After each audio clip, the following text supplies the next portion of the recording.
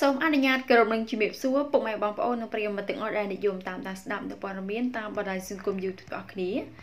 ទារិកាកំសត់ត្រូវម្ដាយបង្កើតយកទៅផ្លុងចោលក្នុងរថយន្តថៅកែម្ចាស់សន្តាគារលីហេងឆៃពេលនេះក្មួយបានជួបមនុស្សល្អហើយនាពេលបច្ចុប្បន្នមានបងប្អូនជាច្រើនបានសង្កេតឃើញថាករណីម្ដាយឪពុកយកកូនទៅបោះចោលមានជាច្រើនករណីដែលជាហេតុធ្វើឲ្យមហាជនពិតជាភ្ញាក់ផ្អើលនិងចង់ដឹងថា តើធ្វើជាម្ដាយឪពុកគេបែបណាទៅបង្កើតកូនហើយយកគ្នាមកផ្លុំចោលគ្មានអាឡោះអាល័យបែបនេះតើអ្នកជាម្ដាយគេរបៀបណាសัตว์ក៏វានៅតែស្រឡាញ់កូនវាចោះអ្នកជាមនុស្សហេតុអ្វីបានជាយកគាត់មកផ្លុំចោលតើចិត្តអ្នកសាងពីអ្វីជាក់ស្ដែងនៅលើ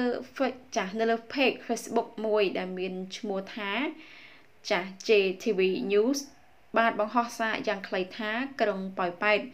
ទុកថាចេញពីនរកមករកសំណាងចុះក្មួយ សង្ឃឹមថាពុកម៉ែថ្មី នឹងស្រឡាញ់ក្មួយពេញបេះដូង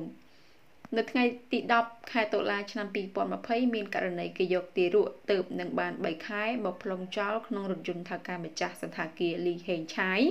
ពលរដ្ឋបានភ្ញាក់ផ្អើលឈូទៅមើលទាំងព្រឹកករណីខាងលើនោះអញ្ញាធរភូមិសង្កាត់ប៉ោយប៉ែតមន្ត្រីនិងសមត្ថកិច្ចបានសម្រេចប្រគល់ទារកស្រីនោះទៅឲ្យម្ចាស់សន្តាគារខាងលើយកទៅចិញ្ចឹមថែទាំជាផ្លូវការក្នុងនាមជាឪពុកម្ដាយចាប់ពីពេលនេះតទៅ។ ចានេះគឺជាអត្ថបទព័ត៌មានមួយដែលតាក់ទងទៅនឹងទីចាស់ទីរិកាកំសត់ត្រូវម្ដាយបង្កើតយកទៅផ្លុំចោលក្នុងរថយន្តថាកែម្ចាស់សន្តាគារលីហេងឆាយចានេះខ្ញុំក៏សូមបញ្ចប់នៅព័ត៌មានត្រឹមតែប៉ុណ្ណេះហើយជាចុងក្រោយក៏សូមអរគុណដល់ពុកម៉ែបងប្អូននិងប្រិយមិត្តទាំងអស់ដែលតែងតែតាមដានស្ដាប់នៅព័ត៌មាននិងវីដេអូរបស់នឹងខ្ញុំហើយសូមកុំភ្លេចជួយ Subscribe Like និង Share Channel របស់នឹងខ្ញុំដើម្បីទទួលបានព័ត៌មានថ្មីៗជាបន្តទៀតផងដែរនៅពេលនេះនាងខ្ញុំសូមអរគុណសូមគោរពលា